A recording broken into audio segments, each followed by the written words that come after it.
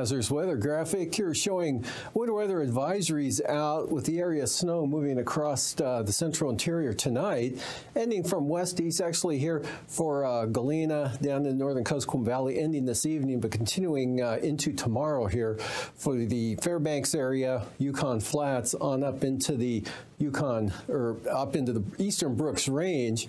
And then there's a blizzard warning out tonight through tomorrow for the eastern Arctic coast for whiteout conditions with uh, winds, uh, gusty winds and blowing snow. And then less of that. Uh, visibility is about a half mile at times or less here for the east central Arctic coast. And that's uh, for tonight through tomorrow.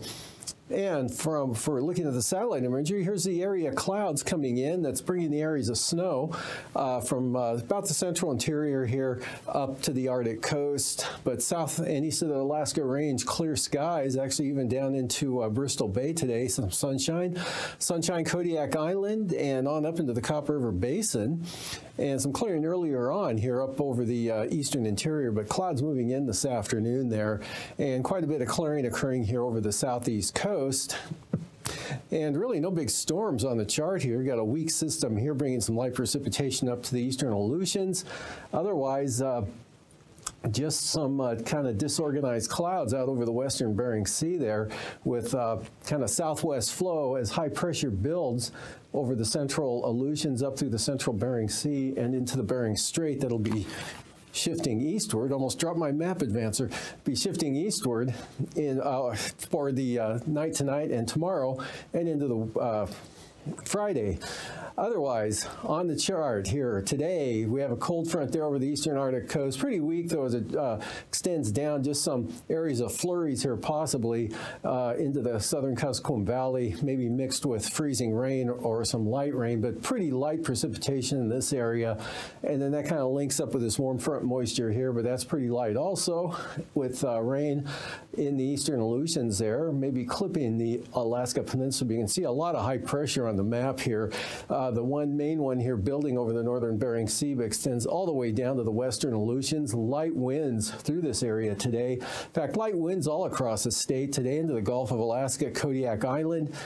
And the northern panhandle, a little breezy with those northeast winds there, but nothing strong, too terribly strong. and then we'll see for tonight, the system tracks eastward and we get uh, clearing from west to east coming in and uh, shouldn't get any precipitation south of the Alaska Range, but into the Copper River Basin, a weak trough there. And this weak low in the Gulf of Alaska could kick off some light snow showers to the eastern North Gulf Coast and uh, into the Copper River Basin. Could be some areas of light snow tonight More so, though, north of the Alaska Range. Could be a few inches here over the central and eastern interior areas. And tightening gradient there starts to pick the winds up there along the Arctic coast and eastern Brooks Range. And winds uh, not too bad over the panhandle, maybe some few clouds in the north, but mostly clear down to the south. Otherwise, uh, we still have this weak disturbance out here south of the main high center, just uh, chance of rain from Nikolsky into uh, Atka and probably skirting Adak. And that's it. No big storms out west here at all. Just really high pressure over the Bering Sea. Building and see the pressure of the two centers now up over 1,040 millibars. And moving on to tomorrow, conditions improve there for the eastern Arctic coast in the afternoon uh, with uh, diminishing winds, light winds over the central Arctic coast and the north slope under the high pressure center back down into the northern Bering Sea, looking at very light winds with a lot of clear skies here, St. Lawrence Island, into the Seward Peninsula Norton Sound. All of the interior here slowly spreading eastward. This area light snow slowly ending from west to east here continuing throughout the day with probably some IFR over the eastern interior into the afternoon on down toward the eastern Alaska Range, Mentasta Pass, for example, and some snow shower chances continuing mainly around the Yakutat area and along the north coast of the Panhandle, just a risk of a light snow shower, otherwise variable clouds, light winds, and partly to mostly sunny skies for the southern southeast coast. And winds starting to increase here. Might see a pickup in the winds tomorrow afternoon for the uh, Valley out of the northeast and then tomorrow night and Friday, look for uh, northeast winds possibly gusting to 55 miles an hour for the Matanuska Valley and uh, 50 to 60 mile an hour wind gusts possible for Valdez out of the northeast. That same pattern here with this tightening gradient now over the northern panhandle. Look for stronger winds out of the north and northeast there, especially Lynn Canal, uh, Eldred Rock. Otherwise, high pressure, sunny skies, temperatures a little colder. Um, but not uh, too terribly cold, getting in toward mid-March now, but it will be definitely cooler, especially the higher elevation areas will see significant cooling from what you've seen the last couple, three days. Otherwise, just a weak trough coming in Friday on the western Arctic coast with some flurries with that and lower flying conditions. Looking really good out here over the Bering Sea. Again, light offshore flow keeping uh, VFR and clear skies right to Nunivak Island and well off the southwest coast in across Bristol Bay and the Alaska Peninsula. The only thing out here, a couple of weak troughs, uh, could kick off a few showers over the Aleutians, and that's about it. This is so washed out, it's not even worth talking about. So moving on to uh, temperatures for tonight, mid-teens for the uh, Susitna Valley and the Copper River Basin, with lower to mid-teens in the Kuskokwim Valley, 20 to 25 for your lows there in Bristol Bay, lower 30s Kodiak Island, and uh, just above zero here for Yakutat and the northern panhandle, otherwise 15 to 25 for the southern southeast coast. And then highs tomorrow, northern areas here in the 20s and 30s down to the south and lower 40s. Valdez could hit 42 tomorrow. Seward maybe 40. Same thing for Homer. Otherwise, right near the freeze point there for Gulkana and the Copper River Basin. Some areas a little colder, some areas a little warmer. In the 30s here, south central Alaska. 35 to 40 about sums it up all the way to from Homer, from uh, Talkeetna there, and lower 40s Kodiak Island. And in the 30s for Bristol Bay, upper 20s northern Kuskokwim Valley to mid 30s to the south. Lows falling a little below zero there for McGrath and Nikolai on the morning for Friday. Otherwise, uh, mid-teens for Bristol Bay, down to about uh, 30 degrees for Kodiak.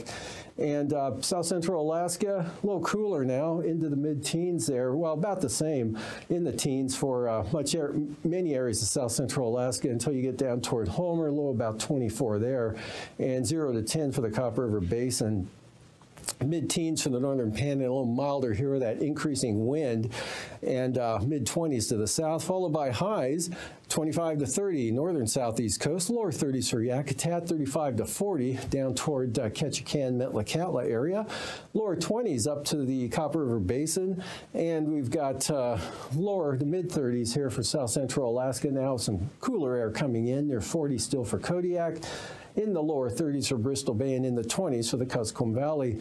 Up to the north, uh, you can see the zero degree isotherm here just west of Arctic Village down to uh, west of Bettles, and then right out across the Alaska or the uh, Seward Peninsula here down to St. Lawrence Island. So a little below zero there to the northwest and in the teens to the southwest of that line.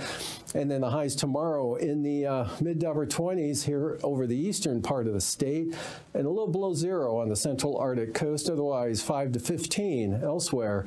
And then the lows for Friday morning, looking uh, a little colder with the colder air coming in, below zero now, just about across the whole area, 0 to 5 here for the Seward Peninsula, out towards St. Lawrence Island into the uh, northern Yukon Delta, and 15 to 25 below for the North Slope and the Arctic coast, coldest here on the east side and it'll be followed by highs in the teens for the Tanana Valley now, and 5 to 15 up uh, into the northern valleys, and uh, single numbers a little below zero on the eastern Arctic coast, into the mid-teens back here to the west, mid-teens for the Seward Peninsula, 16 there at Nome, and 20 for Savoonga. Mid 20s for the Cody or for the St. Paul area tonight, lower teens here along the southwest coast, lower 30s for the central Aleutians and the Alaska Peninsula, followed by highs 40 to 45 there from Cold Bay to Alaska, lower 40s for Adak and Atka Shemya, near 32 for St. Paul, followed by lows in the mid 20s there for the Pribilofs mid 30s for the Aleutians, 20s for the Alaska Peninsula, followed by highs 35 to 42 for the Alaska Peninsula. Some areas of the Aleutians into the lower 40s, and then a little cooler along the southwest coast. And now, aviation weather around Alaska. Starting the day off uh, on Thursday with some IFR here from the Aleutians across the southeast Bering Sea, especially into Bristol Bay and up through the Kuskokwim Valley, and then over to the eastern interior from uh, almost the North Gulf Coast all the way up to the eastern Arctic coast, improving back to the west, and marginal VFR for the western Aleutians out here, Panhandle VFR to start the day with, and it looks like some uh, possible marginal VFR slipping in, mainly along the coast here, possibly over toward the border, otherwise uh, staying pretty good. Good VFR here across southern Alaska, improving from west to east throughout the day, but uh, IFR lingering over here over the uh, eastern Alaska Range, north northern slopes of the eastern Alaska Range, and also up there Eagle northward a little bit. But good VFR out into the northern Bering Sea. Out over the southern Bering Sea, you got some areas of uh, IFR with that extend down to Adak and Atka, south side of uh, the Fox Islands there, and another batch out there toward Shemya and Attu. Then for the Friday morning time frame, good VFR here, eastern Bering Sea, interior Alaska, possible marginal VFR in areas here north uh, the Alaska Range, upper Tanana Valley 40 mile country to Eagle, and then on up to the north there, but staying south of the Brooks Range.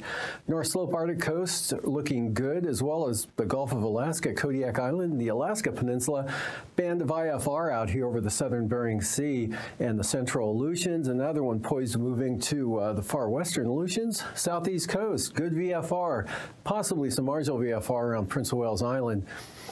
And for Friday afternoon, Nothing but VFR here over the uh, Gulf of Alaska Panhandle. All of interior Alaska, maybe some low stuff around the eastern Alaska Range, possibly Kodiak Island VFR, Alaska Peninsula, eastern Bering Sea, right up to the Seward Peninsula. Then it looks like a band of, of marginal VFR here dropping into the western Arctic coast, on down across uh, the Noatak Valley in the northwest coast, and out to the west. Uh, some areas of uh, IFR here over the uh, west central Aleutians and between the Komandorskis and Attu Island and passes for tomorrow. IFR becoming VFR for Anaktuvuk. Lowest conditions for Atigun will be early on in the day, improving throughout into the afternoon. And Lake Clark and Merrill, good VFR flying either approach tomorrow and rainy uh, VFR Marginal VFR to start, becoming VFR at some point in the day, probably by afternoon tomorrow. And Isabel improving, but uh, only improving to marginal VFR. Could go VFR late in the afternoon. And Mentasta, hold on to the IFR mostly throughout the day, although kind of improving in the late afternoon. Got to wait till tomorrow evening probably. And for Tahneta, VFR, Portage, VFR, Chilkoot and White, both VFR. Freezing levels, uh, not quite as far up to the Arctic coast as they had been, kind of getting knocked down with that upper level disturbance pulling colder air in from the west. So we got 2,000 feet tomorrow morning, still over uh, Kenai Peninsula up into the Copper River Basin, 4,000 feet there down around uh, Bay, and 6,000 feet over Kodiak Island. Otherwise, taking a look at icing, not a whole lot to talk about. This area here shifting eastward um, areas of uh, isolated moderate rime icing uh, below 9,000 feet here over the eastern interior. Again, ending from west to east throughout the day, staying north of the panhandle. And then with that uh, warm front moisture out here, uh, the uh, central Aleutians could see the uh, threat of possible light rime icing out there below 12,000 feet. Looking at the jet stream, We've got uh, upper level low out here south of the western Aleutians. So flow coming up, taking a turn to the east, 75 to 85 knots, picking up out of the northwest at 95 knots there across the Kenai Peninsula. And the strongest winds stay west of the panhandle, this elevation. And high pressure here at 9,000 feet. So good northerly winds, 35 to 45 knots there from the Arctic coast all the way down into the Gulf of Alaska and the Northeast Pacific. And for the uh, 3,000 foot wind flow chart showing southeast breezes here over the eastern Aleutians and high pressure northern Bering Sea into the north slope. Northerly winds maybe up to 45 knots over the Kenai Peninsula, but pretty light elsewhere, kind of uh, brisk there in the eastern Arctic coast. Turbulence wise, light light to isolated moderate turbulence here, uh, south central Alaska, all the way down to Kodiak Island, maybe moderate turbulence around Kamishak Bay, Homer, Seldovia, Port Moller.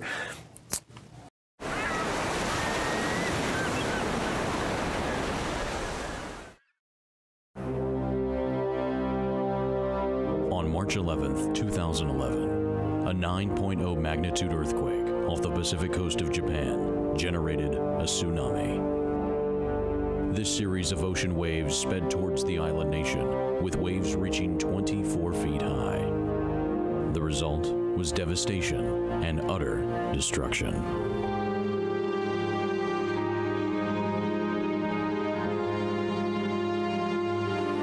Towns were engulfed by water and swept away. Farmland was flooded. Tens of thousands of lives were lost. The National Police Agency reported damages to hundreds of roads, bridges, and more than 100,000 buildings.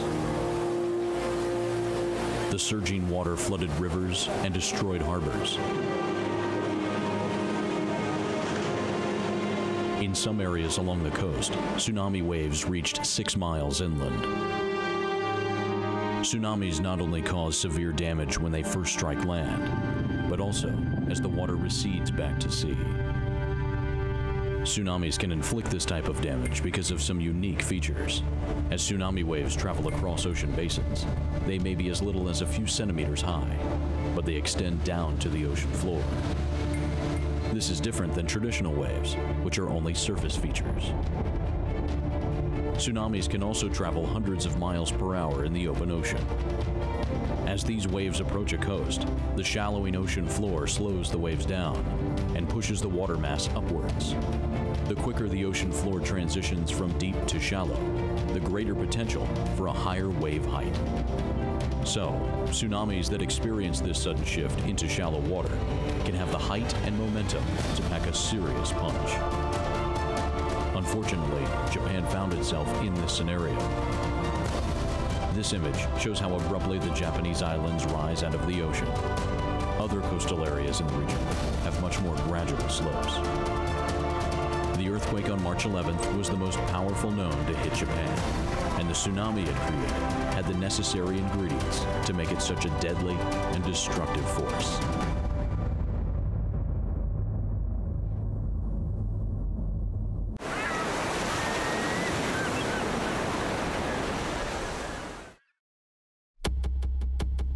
Eighty miles east of Japan, a 9.0 magnitude earthquake rocks the ocean floor. This disturbance causes a transfer of energy from the seafloor to the ocean, generating a series of ocean waves, known as a tsunami. In about 20 minutes, waves strike the Japanese coastline. Other nations go on high alert because the tsunami will propagate or spread throughout the Pacific Ocean. As the tsunami radiates outward from Japan, it encounters a variety of ocean features, such as ridges and underwater volcanoes, which guide the tsunami and create a complex pattern of scattering and reflective waves. In eight hours, the waves reach the Hawaiian Islands, and in nine and a half hours, they hit the west coast of the United States. In 16 hours, the tsunami reaches the Indian Ocean and New Zealand. And by 22 hours, the entire Pacific Ocean had been affected. The impact of a tsunami can be highly variable because of the complicated interactions with ocean features and coastline elements. Wave height and speed will differ from place to place. Since tsunamis can be hundreds of miles long and travel thousands of miles away from where they originated, they are considered a worldwide threat when they form.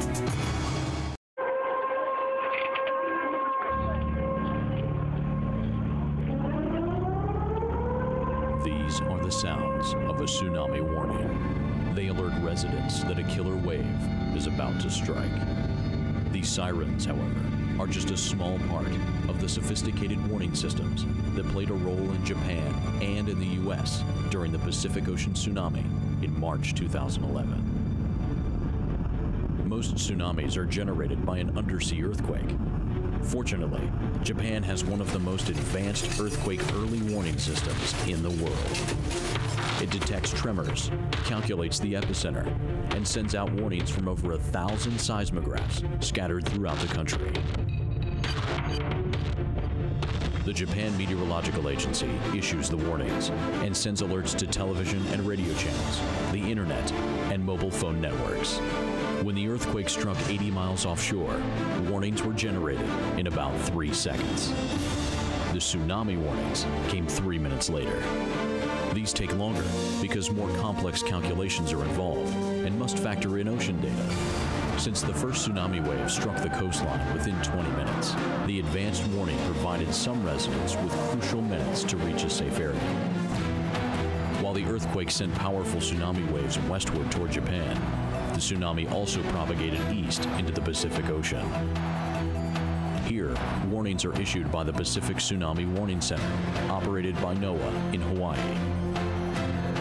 NOAA maintains a large network of buoys with ocean floor sensors that are strategically positioned in the earthquake-prone zones of the Pacific. This system collects vital ocean data for tsunami forecasting.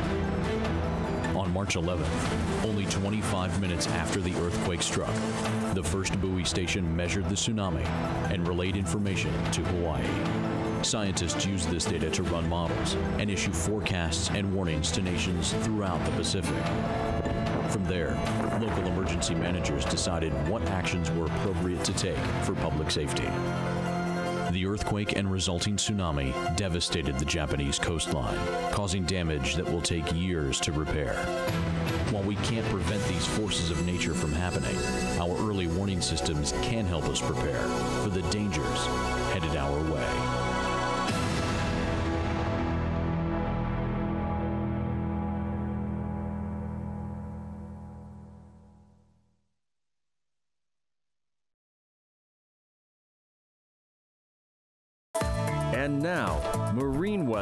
Around Alaska. Okay, a full set of coastal water forecasts tonight here for the south coast. Tomorrow, looking at north winds at about 20 knots, east northeasterlies 15 knots for the north coast, Canal, north winds 25 knots, and north winds at 20 knots for the central and southern inside waters. Then stronger winds in the forecast for Friday. Gale warnings here on the north coast. Northeast winds 40 knots and then northeast 20 to 25 on the south coast. And uh, Gale warnings for Lynn Canal, north winds 35 knots, sea 7 feet. Central and southern inner channels, winds northerly at 20 to 30 knots with 4 to 6 foot seas. And for uh, Prince William Sound, northwest winds at 20 knots with three foot seas.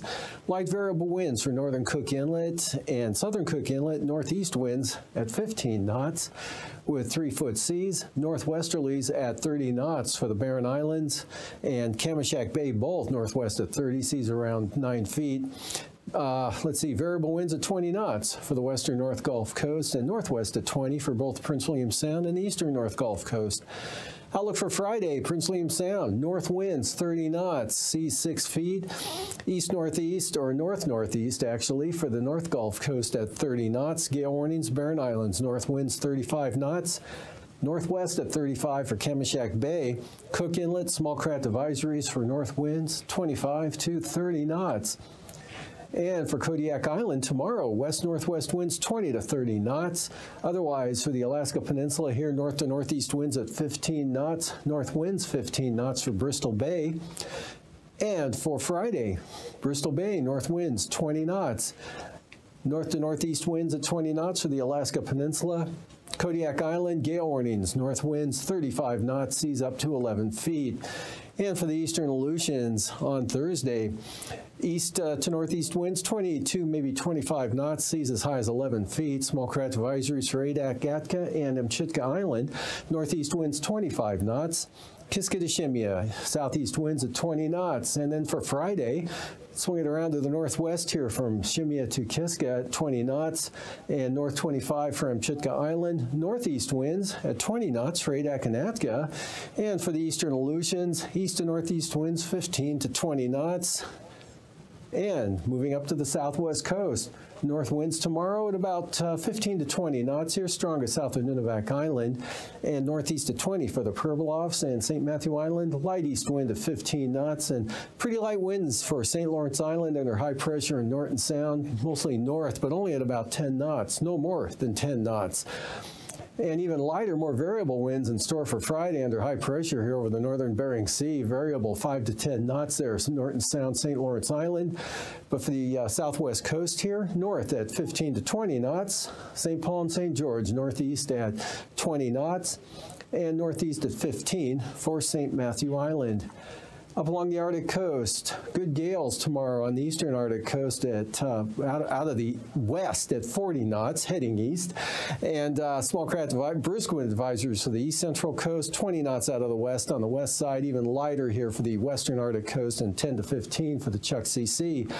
And then for Friday, from Wales to Cape Beaufort, south winds 20 to 25 knots, western Arctic coast south at 20, central coast southeast at 20, and for the eastern Beaufort Sea coast, west winds 15 to 25 knots.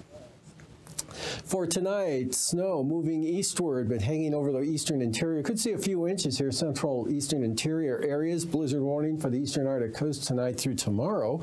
And some light snow could get all the way down to the Copper River Basin here and or even into the North Gulf Coast. Probably will see some light snow in the Copper River Basin, but that could get down to the North Gulf Coast with a few light snow showers there. Dry over the panhandle, breezy in some areas. Light winds and fair conditions over the northern Bering Sea and the North slope and maybe a chance of some light precipitation with that weak system over the central Aleutians, but wind-wise looking really good. That continues into tomorrow as well, slowly moving uh, east-westward there, but holding over the Adak-Atka area. High pressure clearing it out into the central interior, interior tomorrow afternoon as snow slowly edges eastward there, and maybe some snow showers for Yakutat, dry for the panhandle, and then on Friday, much windier here for the southeast coast, as we saw with the gale warnings in the north and small craft advisories to the south, and some good outflow winds, Copper River Delta, Valdez, Matanuska Valley, possibly gusts of 55 miles an hour. These forecasts are for planning purposes only. Call 1 800 WX Brief for a formal pre flight briefing. Always file a flight plan before you go flying. The U.S. Coast Guard Auxiliary urges you to leave a float plan with a friend or the harbor master before you go boating.